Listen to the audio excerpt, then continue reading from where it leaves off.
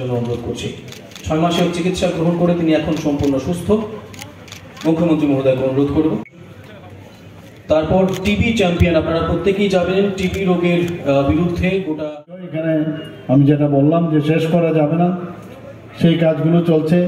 এখানে আপনারা দেখেছেন যে গাড়িও এখানে ভ্রাম্যমান গাড়ি চলে এসছে। এবং আমাদের ত্রিপুরা সরকারের প্রতি ঘরে সুশাসন টু পয়েন্ট আমরা গত বছরও এই প্রতি ঘরের সুশাসন মাননীয় প্রধানমন্ত্রীজির জন্মদিনে সতেরোই সেপ্টেম্বর আমরা শুরু করেছিলাম এবং আরেক প্রধানমন্ত্রী, আমাদের সবার প্রিয় আদরণীয় অটল বিহারী বাজপেয়ীজির যে জন্মদিন পঁচিশে ডিসেম্বর সেটা আমরা সমাপন করেছিলাম।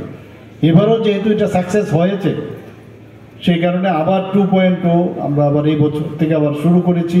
এই জনজাতি গৌরব দিবসে পনেরোই নভেম্বর থেকে আমরা সেটা শুরু করেছি। অর্থাৎ এই যে অভিযান এবং আমাদের যে বিকশিত ভারত সংকল্প যাত্রা এবং প্রতি ঘরে সুশাসন, তার মেইন উদ্দেশ্যটা কি?